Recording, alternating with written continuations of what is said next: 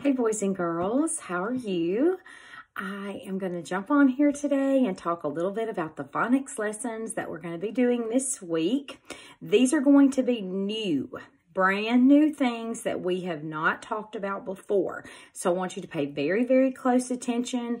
Watch this with your parents. You may want to watch it more than one time just to make sure that you get these last few phonics lessons and rules that we have not talked about in the year. Okay, so before we get started, I do want to go over our ghost letter digraphs. We learned those right before spring break, before we left school. And so we're going to review those really quick. And then I'm going to talk to you about the new sounds and new learning that you're going to be doing this week in phonics. Okay. Remember that we are following this kind of salmon color paper. It has the week up here, May 11th through the 15th. And we're in the phonics section for this week's lessons. Okay? All right, so let's do those ghost letter digraphs. Now remember, a ghost letter digraph, two letters that come together, but you only hear one sound okay? One sound. Let's review. Say the picture and then say the sound, okay? Phone. Wreath. Knot. N. Gnat. N light, I. All right. Want to go over those so that you can remember those ghost letter digraphs and how important they are in your writing because those are the ones that trick you up when you're trying to write, okay? Our new learning this week is going to focus on a couple of different sounds. We tried to work these in for the last lesson so that we made sure that you knew all of the first grade Saxon sounds and that you would be ready for second grade. We got to about lesson 115 in the phonics progression. There are 130 lessons for first grade. So we were about 15 lessons shy, including assessments, with what we needed to finish. So we almost got there and we wanted to make sure that you didn't miss anything. So listen closely. This week, we're going to be talking about the two digraphs, EI. EI digraph can make the sound E like the word receipt. And it can make the sound E like the word veil.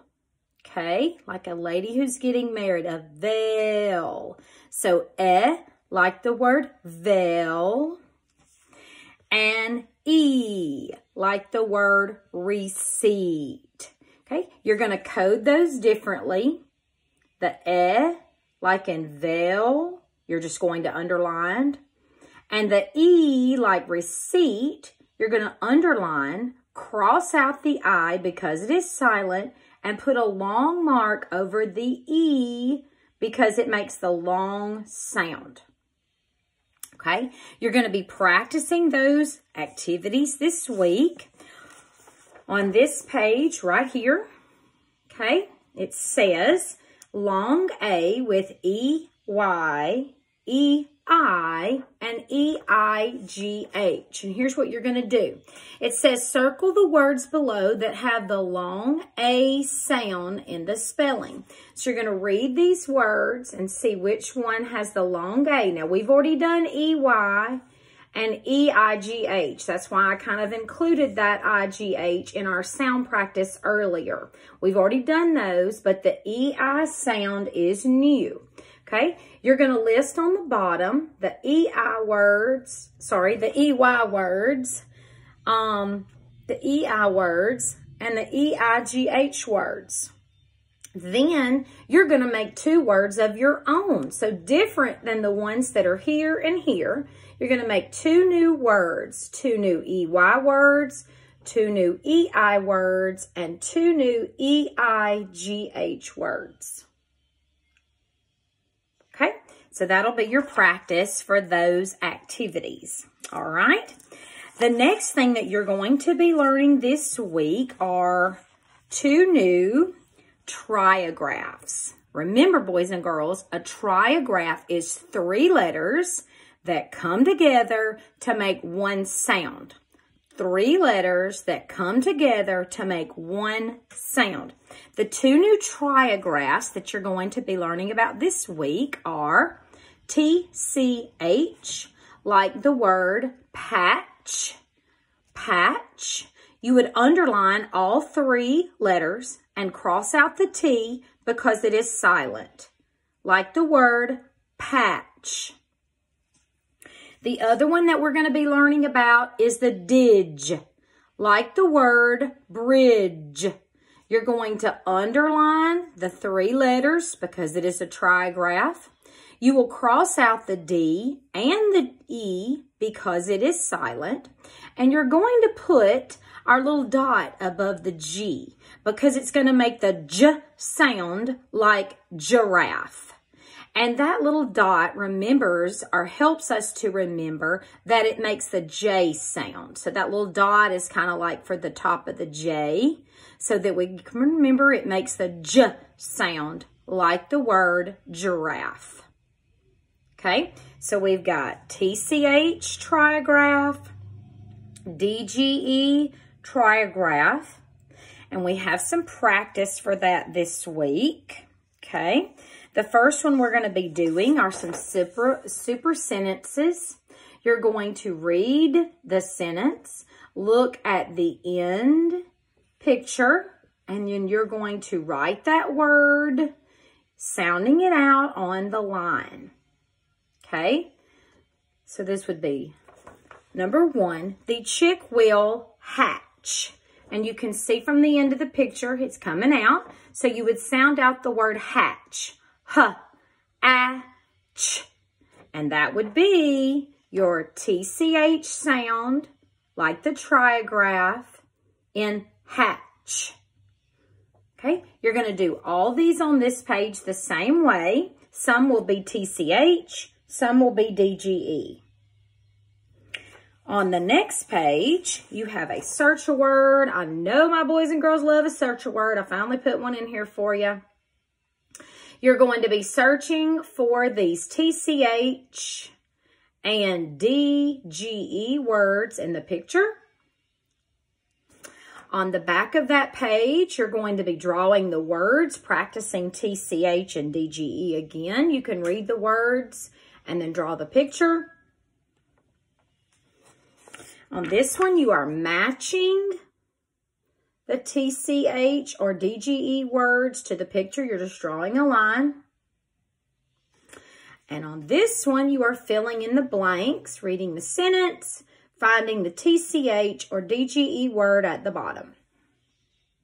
Okay, the last sound that we're going to be working on for this week is going to be a combination. Remember, boys and girls, combinations have this little smiley face under the letters, and a combination is two letters that come together to make an unusual sound. We've done a lot with this word, I mean with this sound, so I'm pretty sure you probably already know it, but I never formally taught a lesson on it and we didn't practice, so I wanted to give you that opportunity to do that this week. This is the W sound, like the word whale. W like the word whale. Now, this is sometimes confusing when you see words because you don't know if it's a WH or just a W.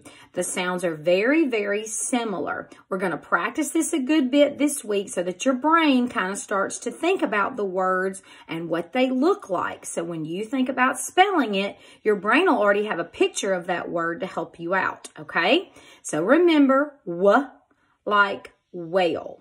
You've got some practice pages on this this week. This one, you will need your scissors and your glue stick. You're going to read the word And then you're going to cut out, making one piece of trash, these pictures on the bottom. You will match the picture to the word. And the last one is a cut and paste again. This time you have the picture. You're going to make one piece of trash and cut out the words and match them to the picture. Then on this side, you're going to write three WH words that you know. So I want them to be different than these words down here. Three different WH words that you know. Okay? All right. I'm going to go over the ones that we're learning this week one more time with you with our cards. So let's look at these, okay? All right, first we had the veil, e, receipt, e, bridge, j, patch, ch, whale, w. Now, you will see these cards again next week. We're going to review over them. I'm going to put them in my review stack so that we keep remembering and learning how to spell and read. I know you're going to do a great job this week with this new learning. If you have any questions, please let me know. Your parents can email me at www.tcss.net. Bye.